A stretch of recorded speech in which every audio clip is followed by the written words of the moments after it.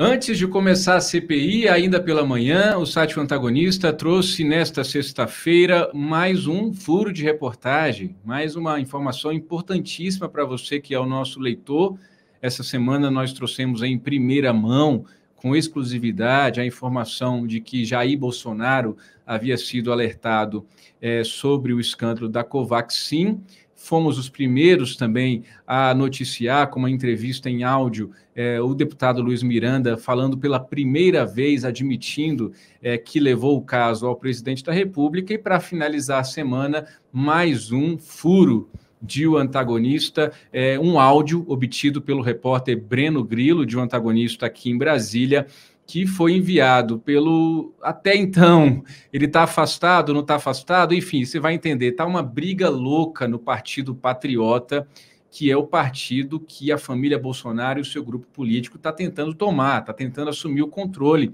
Lembrando que Jair Bolsonaro está sem partido para concorrer à, reeleição no ano que vem, desde que ele brigou com Luciano Bivar e abandonou o PSL, sigla pela qual ele foi eleito em 2018. Então, nessa guerra interna lá, o Barroso, que é, em tese, o presidente do Patriota, como você que acompanha o antagonista sabe, realizou recentemente duas convenções para mudar o estatuto, abrindo espaço, assim, para a família Bolsonaro. Inclusive, o senador Flávio Bolsonaro, filho do presidente, já está afiliado. É o líder do Patriota, até porque ele é o único representante do Patriota no Senado Federal atualmente. E um outro grupo do Patriota é, comandado ali pelo vice-presidente Ovasco Rezende e o secretário-geral Jocelino Braga, é um grupo que é, não é que eles não querem o Jair Bolsonaro no partido, não é isso. Eles estão incomodados com a forma como isso está sendo feito. Então, o Breno conseguiu um áudio enviado do Barroso para o Ovasco, seu inimigo, ou seja, do presidente para o vice, dias antes de ontem, o Ovasco conduziu uma convenção somente com o grupo que é contrário à forma como Jair Bolsonaro está tentando tomar esse partido, para tentar desfazer as decisões que foram tomadas nas convenções conduzidas pelo Adilson Barroso. E aí, minha gente, ó, vale tudo, dedo no olho, ameaça de Polícia Federal e até insinuação de rachadinha de deputado. Vamos ouvir o áudio exclusivo obtido pelo repórter Breno Grilo de O Antagonista. Meu amigo Vasco, é o Adilson. Meu irmão, eu estou sabendo aí, me, me falaram, que vocês vão fazer uma convenção. Eu sei, não, não entendo. Aqui eu faço uma convenção perfeitamente estatutária e falta um ou dois para completar os 65% do artigo 19 e aí não se consegue registrar.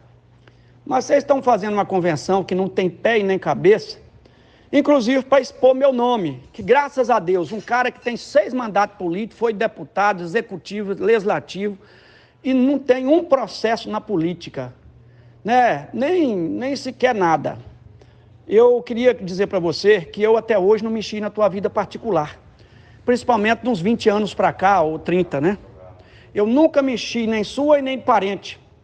Então eu queria que você fizesse assim comigo também. Não me expôs o meu nome nessa maldita ata que alguém pode estar incentivando você, porque eu já te passei 100 mensagens dizendo: Ó Vasco, seu acordo é comigo e não com Fred e Nilton.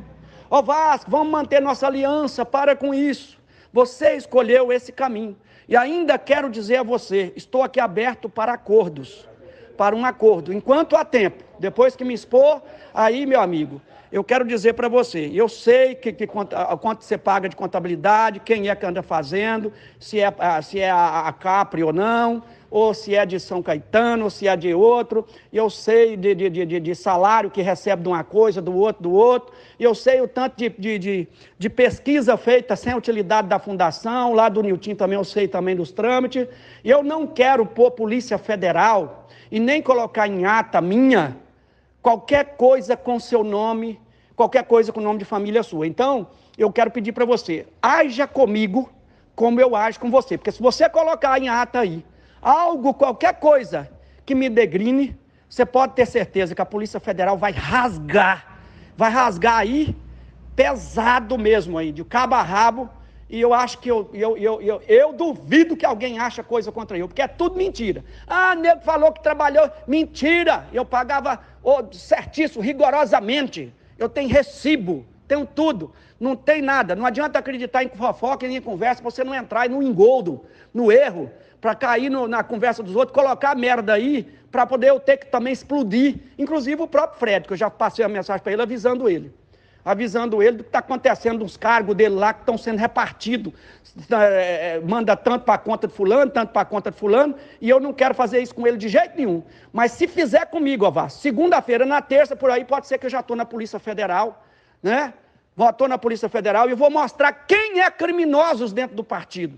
E quero que rastreie minha vida de cabo a rabo. Porque até aqui me trouxe o Senhor. Até aqui me trouxe Deus.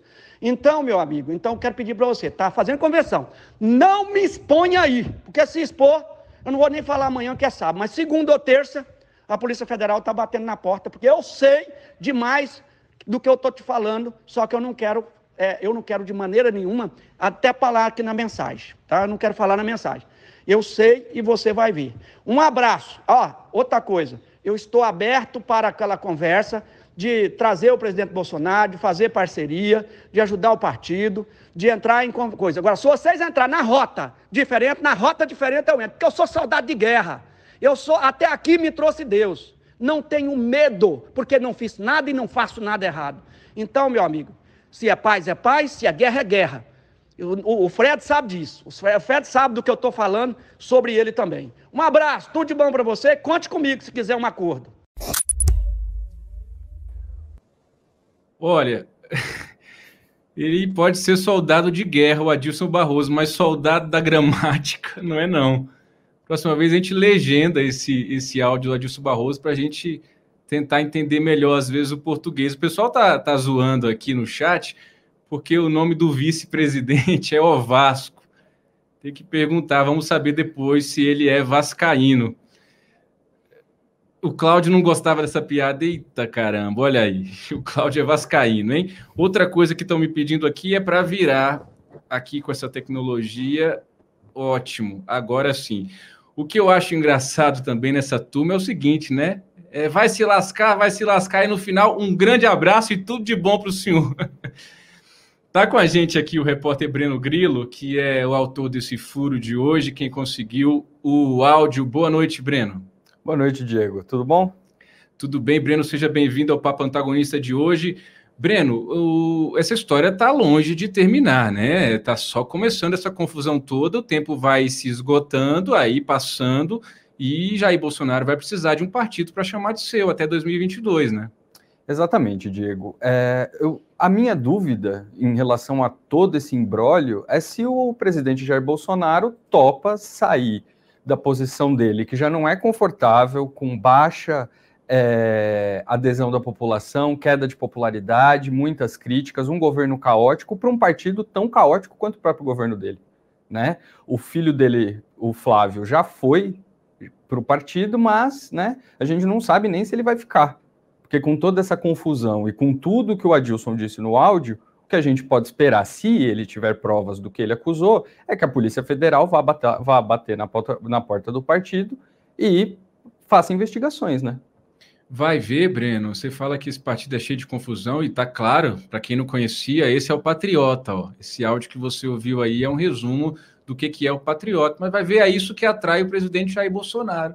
É isso que atrai, é a confusão, é a zona, é a bagunça, é, é uma situação dessa aí que a gente está vendo. Importante o Breno comentar que o Flávio pode sair. Por quê, minha gente? senador pode trocar de partido a hora que quiser, é só piscar o olho que troca de partido. O deputado não precisa esperar a abertura da tal janela partidária, que será somente no ano que vem.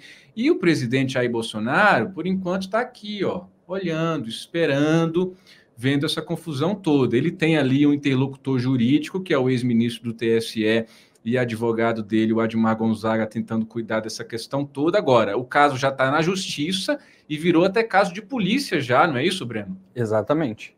É, como é que eu posso explicar da melhor maneira possível? Levaram denúncias até a polícia, né, sobre desmandos, tanto do Adilson quanto do outro grupo. Não se sabe quem tem razão nessa história, tá? Muitas pessoas do Patriota me ligaram hoje reclamando da divulgação dessa história e eu falei, a gente tem que divulgar porque é interesse público. O partido é mantido com interesse público. com o dinheiro público, perdão. Então as pessoas têm que saber o que acontece. E isso não é maneira de um dirigente partidário se referir. Se tem provas de corrupção dentro do partido, que as leve às autoridades. Mas ficar mandando o áudio com o intuito que parece, pelo áudio que a gente divulgou, uma chantagem em troca de acordo, em troca de benesse política, isso não é um jeito que a política brasileira precisa ser conduzida, né? Não, e ameaças, ameaças, falando em, em possível rachadinha no gabinete é, do deputado Fred Costa, que é o líder do Patriota, que a gente abriu o espaço e continua aberto o espaço para o deputado falar. É, agora, claro que isso tem interesse público, ora, ora, ora.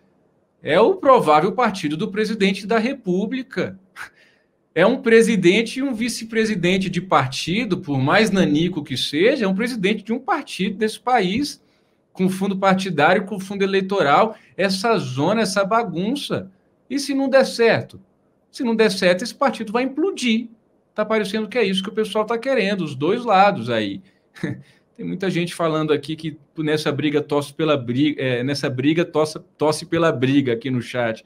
Vocês gostam muito de briga, mas é claro que, que é, é, importante a gente continuar esse assunto e a gente vai continuar acompanhando esse assunto, lembrando que o antagonista também trouxe em primeira mão toda essa história, ainda no início deste ano, no Patriota, mostrando que havia ali um racha de um grupo favorável à chegada de Bolsonaro e outro grupo que, repito, não é que eles não são favoráveis à chegada do Bolsonaro, mas eles querem entender melhor como isso está se dando. E a gente sabe como está se dando.